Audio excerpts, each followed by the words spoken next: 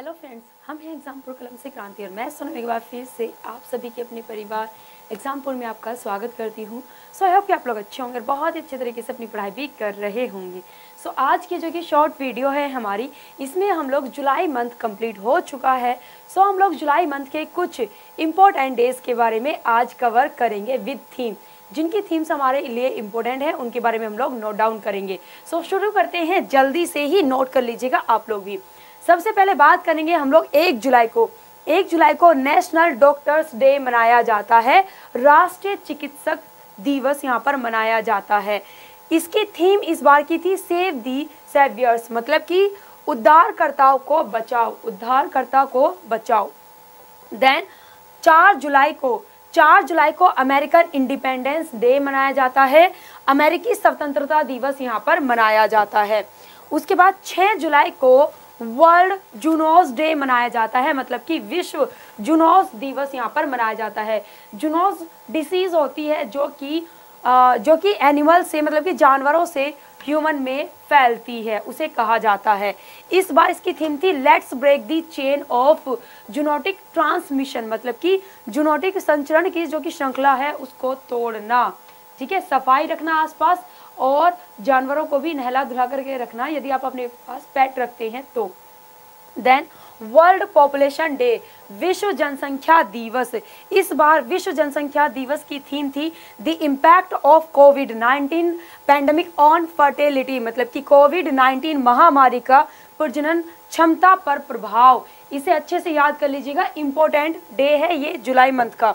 Then next है यहाँ पे 12 जुलाई 12 जुलाई को मल वर्ल्ड मलाला डे मतलब कि विश्व मलाला दिवस मनाया जाता है। 17 जुलाई को world day for international justice मतलब कि अंतर्राष्ट्रीय न्याय के लिए विश्व दिवस यहाँ पर मनाया जाता है।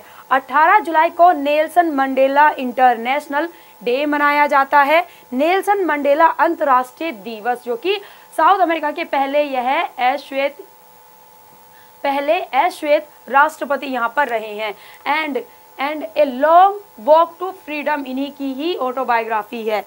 इसकी इस बार थीम थी यहाँ पर इस डे की one hand can feed another मतलब कि एक हाथ दूसरे को खिला सकता है। और बिल्कुल आपको भी आप व्रत रखते हैं या जितना पॉसिबल हो सके, सो दूसरों को फ़ीड किया कीजिए जिनको ज़रूरत है। चलिए, आगे बढ़ते हैं 28 जुलाई। वर्ल्ड नेचर कंजर्वेशन डे मतलब कि विश्व प्रकृति संरक्षण दिवस मनाया जाता है। कि भाई प्रकृति को संरक्षण आपको प्रदान करना चाहिए। थीम इस बार थी forests and livelihoods sustaining people and planet. मतलब कि वन और आजीविका को बनाए रखने वाले लोग और ग्रह। द नेक्स्ट है twenty nine, most important, global tiger day, वैश्विक बाघ दिवस। इस बार इसकी थीम थी their their survival is in our hands. मतलब कि उनका अस्तित्व हमारे हाथ में है हमें उनके संरक्षण के लिए काम करना चाहिए। सो so, यह जुलाई के कुछ इम्पोर्टेंट डेज़ यहाँ पर हैं जो कि मैंने आप लोगों को कराए हैं।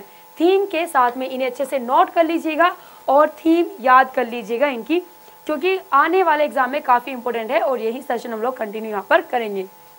सो so, आपको आज का सेशन कैसा लगा, मुझे कमेंट करके ज़रूर बताइएगा। और वीडियो अच्छी लगी सो लाइक तो बनता ही है। और इसके साथ में ही शेयर भी ज़रूर कीजिएगा। एंड सुबह में जो कि इस क्लास के बाद छः बजे विवेक सर की करंट अफेयर की क्लास चलती है। विवेक सर की करंट अफेयर की क्लास चलती है सो वह क्लास भी ज़रूर ज्वाइन किया कीजिए। सर बहुत ही बेहतरीन तरीके से आप लोग को करंट अफेयर कराते हैं सो क्लास को छः बजे ज्वाइन करना मत भूलिएगा। मिलते हैं हम लोग नेक्स्ट वीडियो में। बाकी 11 बजे और 1 बजे भी मेरी क्लास चलती है सो आप लोग मुझे ज्वाइन कर सकते हैं 11 बजे स्टैटिक जी के, एक बजे स्टैटिक जी के की क्लास में। So thank you students and जय हिंद, जय भारत।